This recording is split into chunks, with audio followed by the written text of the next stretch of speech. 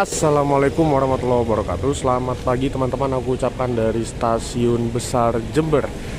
Spesial pada video kali ini aku akan joyride atau naik kereta api Tapi beda daripada naik kereta api pada umumnya. Jadi hari ini ini dia Aku naik kereta api namanya KLB Tajemtra 2022 Nomor KA nya 10620 Dari Jember menuju Tanggul Oke? okay?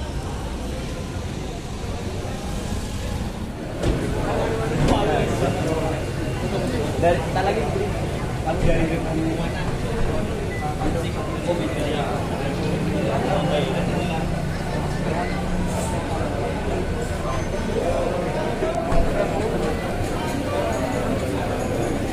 Oke teman-teman jadi yang dimaksud dengan KLB Tajemtra ini adalah jadi di Kabupaten Jember itu ada sebuah gerak jalan tradisional bernama Tajemtra atau Tanggul Jember tradisional. Jadi gerak jalannya itu start dari Tanggul. Tanggul itu adalah kecamatan yang paling barat di Kabupaten Jember dan sampai finish di Jember atau di kota Jembernya di alun-alun Jember gitu teman-teman. Nah, untuk KLB Tajemtra ini sendiri uh, biasanya memang dijalankan pada saat event gerak jalan Tajemtra ini sendiri teman-teman menggunakan rangkaian kereta kelas eksekutif dan ekonomi. Ini kebetulan untuk tiketku ada di eksekutif di eksekutif 2 nomor 11D seperti itu teman-teman. Oke teman-teman ini mungkin untuk KLB-nya ini persiapan masuk di jalur 2 stasiun besar Jember dan akan diberangkatkan sekitar pukul 10 lebih 5 menit. Sekarang pukul 9.46 atau 9.45 KLB-nya kurang lebih sekitar 15 menit lagi akan masuk di stasiun Jember teman-teman. Nah jadi KLB ini aku tegaskan sekali lagi ya KLB ini mengangkut peserta rombongan gerak jalan. Gerak jalan Tanggul Jember tradisional. Jadi ini gratis. Ini benar-benar program gratis dari Pemkap Jember. Bekerja sama atau supporting dengan PT KAI Seperti itu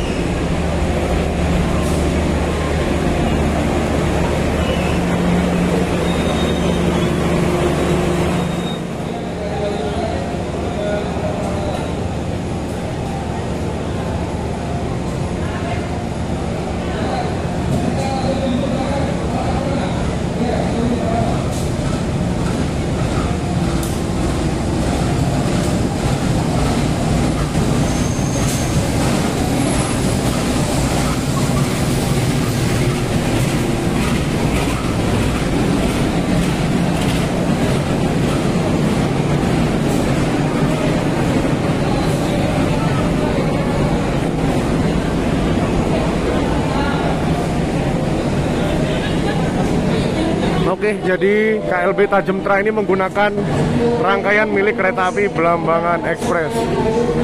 Ini papan namanya dicopot. Papan namanya dicopot.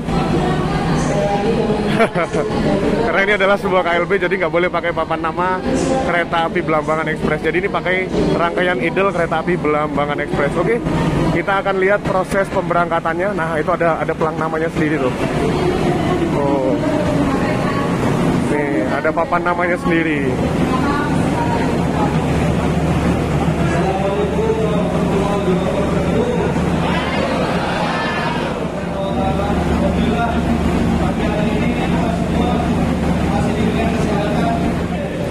Yang terhormat Bapak Vice Presiden Daob 9 Jember yang saat ini diwakili oleh Jenderal Manager Masyarakat Bapak Dio dan yang terhormat Bapak KS dan seluruh uh, para pejabat di PT Kereta Api 9 Jember.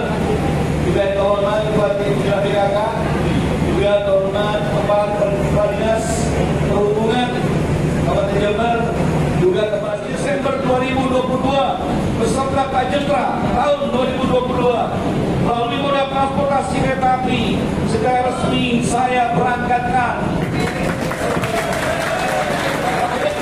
terakhir pantun untuk kita dijawab cakep. Malam minggu asiknya untuk jalan-jalan. Tapi jangan lupa ajak keluarga dan kawan-kawan. Beserta kejutra kami ucapkan selamat jalan. Kita ketemu di Tanggul saat pemberangkatan. Terima kasih. Assalamualaikum warahmatullahi wabarakatuh. Memasuki gerbong masing-masing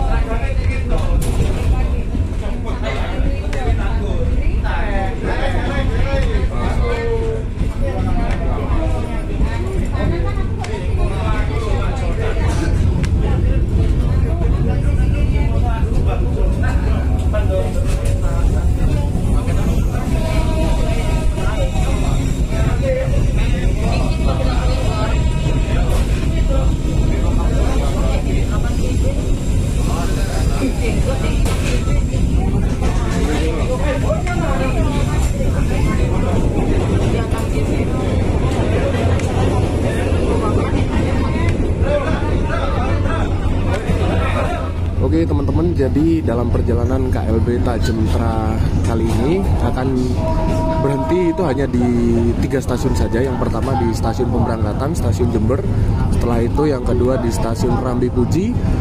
Lalu setelah itu tiba di tujuan akhir stasiun Tanggul teman-teman seperti itu. Jadi hanya ada eh, satu pemberhentian di tengah jalan saja ya. Ini stasiun Rambi Puji seperti itu teman-teman. Kalau dari Jember ke arah Tanggul ini sebenarnya ada tiga stasiun yang harus dilewati yakni stasiun Mangli, Rambi Puji dan Bangsal Sari baru setelah itu stasiun Tanggul. Nah kebetulan untuk stasiun Mangli dan stasiun Bangsal Sari ini kereta api atau KLB Tajemtranya ini melintas langsung. Begitu kawan-kawan. Oke, kita lanjutkan perjalanan sampai stasiun Tanggul. Nanti kita lihat proses langsirannya. Tapi mungkin nanti di video berbeda ya.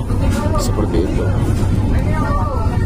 Ya teman-teman karena KLB ini menggunakan kelas eksekutif jadi untuk fasilitas aku kira sama aja seperti kereta eksekutif pada umumnya jadi nggak ada bedanya ya jadi nggak usah kita review-review lah yang penting kita tahu kita menikmati perjalanan menggunakan KLB Tajemtra ini karena sensasinya berbeda gitu.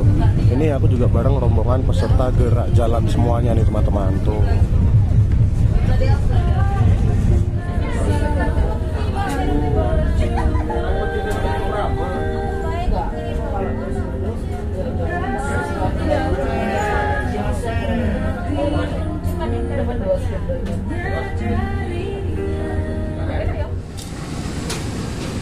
Alhamdulillah kita tiba di stasiun Tanggul dan ini para rombongan peserta gerak jalan Tajemtra juga sudah turun untuk persiapan mengikuti gerak jalan tradisional ini teman-teman. Oh.